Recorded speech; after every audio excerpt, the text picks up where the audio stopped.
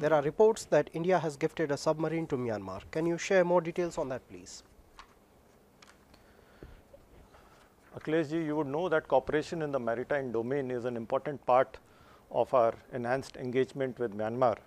And in this context, India will be delivering a Kilo class submarine INS Sindhuvir to, to, to the Myanmar Navy. We understand that this will be the first submarine of the Myanmar Navy. This is in accordance with our vision of Sagar, which is security and growth for all in the region. And also, it, this would be in line with our commitment to build capacities and self-reliance in all our neighboring countries.